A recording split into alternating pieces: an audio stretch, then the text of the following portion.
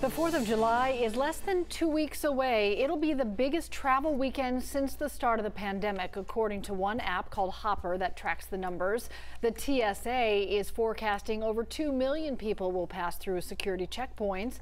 Atlanta's Hartsfield Jackson International Airport is expected to be the eighth busiest airport over the holiday weekend.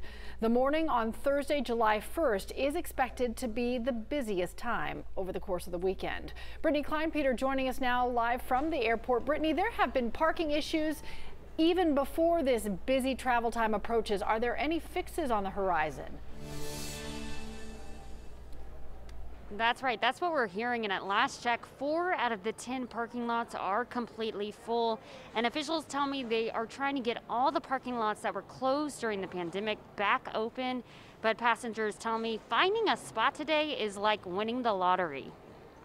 Parking was horrible. Um, I had to ride around maybe five, six times. It shocks me, but it confuses me at the same time because why should parking be an issue. It's crazy. I didn't know an airport this big would not have any parking. Travelers say they're spending hours searching for parking and in some cases even missing their flights because of it. Airport officials say they're working to alleviate the packed parking lots, but patrons say it's just not enough. Many taking matters into their own hands. I have a family member who traveled and they had was a prop, they, you know, and um, they said it was hard. They kept going around and around and around, and that took up so much time. So we got here like really early.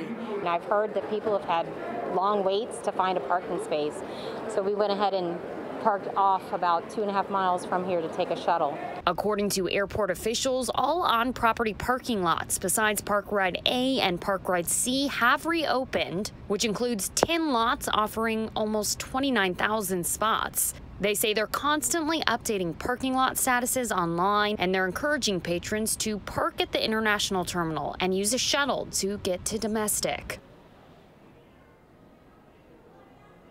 Coming up at 6, I'll have more on what authorities say they're doing to remedy these parking issues in the next coming days.